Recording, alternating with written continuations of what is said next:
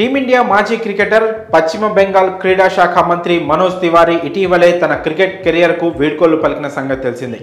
అయితే పోతూ పోతూ వివాదాస్పద వ్యాఖ్యలు చేశాడు ఈ బెంగాల్ ప్లేయర్.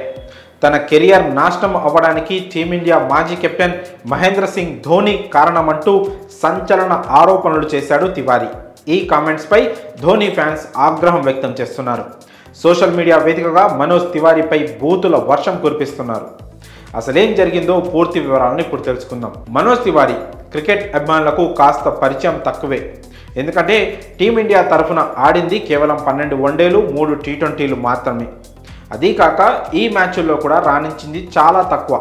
పన్నెండు వన్డేల్లో కేవలం ఇరవై ఆరు సగటుతో రెండు వందల ఎనభై ఏడు రన్స్ చేశాడు. అందులో ఓ సెంచరీ కూడా ఉంది. ఇప్పుడు గొడవంతా ఈ శతకం గురించే. రెండు వేల పదకొండులో వెస్టిండీస్తో టీమిండియా ఐదు వన్డే మ్యాచ్ల సిరీస్ ఆడింది. ఆ సిరీస్ను భారత్ మూడు ఒకటితో అప్పటికే కైవసం చేసుకుంది. ఇక చివరిగా మిగిలిన నామమాత్ర మ్యాచ్ కోసం టీమిండియా సీనియర్లకు రెస్ట్ ఇచ్చారు. కాగా అంతకుముందు మ్యాచ్లోనే డబుల్ సెంచరీ చేసిన వీరేంద్ర సెహ్వాగ్కు సైతం రెస్ట్ ఇచ్చి యువ క్రికెటర్లకు అవకాశం ఇచ్చారు సెలెక్టర్లు. దీంతో టీంలోకి వచ్చాడు మనోజ్ తివారీ.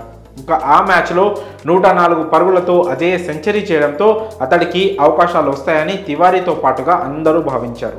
కానీ జట్టులో అప్పటికే విరాట్ కోహ్లీ రోహిత్ శర్మ సురేష్ రైనా యువరాజ్ సింగ్ వీరేంద్ర సెహ్వాగ్ గౌతమ్ గంభీర్ లాంటి హేమా హేమీలు ఉన్నారు.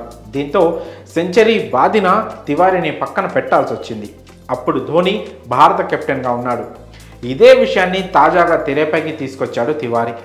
నా కెరియర్ ధోని వల్లే నాశనమైందని పొంతన లేని ఆరోపణలు చేశాడు. ఈ కామెంట్స్తో ధోని ఫ్యాన్స్ తివారీపై ఫైర్ అవుతున్నారు.